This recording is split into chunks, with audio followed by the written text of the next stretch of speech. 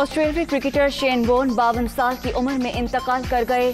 सबक स्पिनर को थाईलैंड में दिल का दौरा पड़ा, जो जानलेवा साबित हुआ। क्रिकेट हलकों का इजहार अफसोस।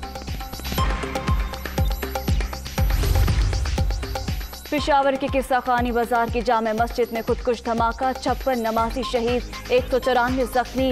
अक्सर की हालत नाजुक पूरे शहर में सिक्योरिटी हाई अलर्ट धमाके में पाँच से छह किलोग्राम बारूदी मवाद इस्तेमाल किया गया।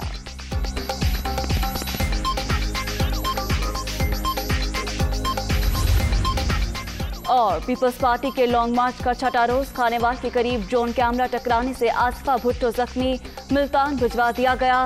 ड्रोन जैमर्स के बायस बेकाबू हुआ। ऑपरेटर का मौके सिक्योरिटी हुकाम ने मीडिया टीमों को फजाई मनाजिर रिकॉर्ड करने से रोक दिया।